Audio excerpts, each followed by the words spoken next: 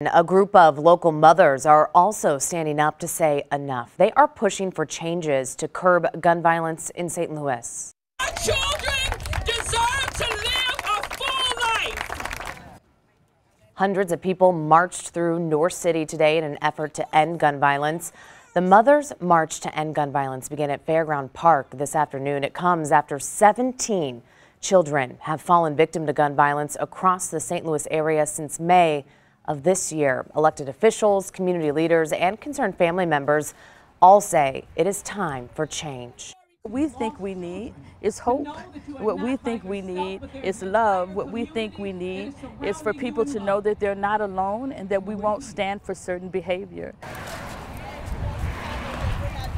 Several cases involving the shooting deaths of kids remain unsolved. Crime Stoppers is still offering a $25,000 reward for info in these cases.